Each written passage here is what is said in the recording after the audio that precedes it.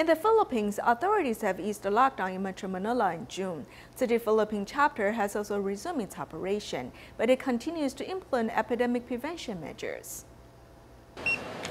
As the lockdown is gradually lifted, Tzu Chi Philippine chapter has resumed its operation. The staff is still mindful about epidemic prevention work.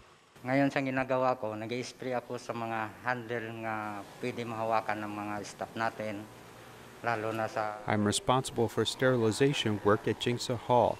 I must be very mindful and careful so that no one will catch the virus. Kagang mga, kwan- lahat ng mga pa, paikot sa loob ng office, lalo na sa labas, para at least safe ang mga staff natin pagpasok nito.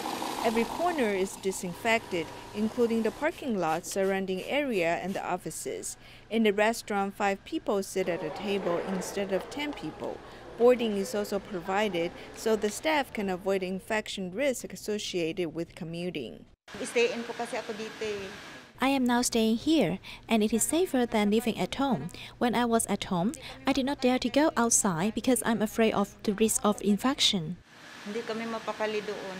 Wala tayong mga naramdaman nga na Working for Tzu Chi, we're very mindful about people's health. This way, we can help more people stay away from the epidemic and spread love.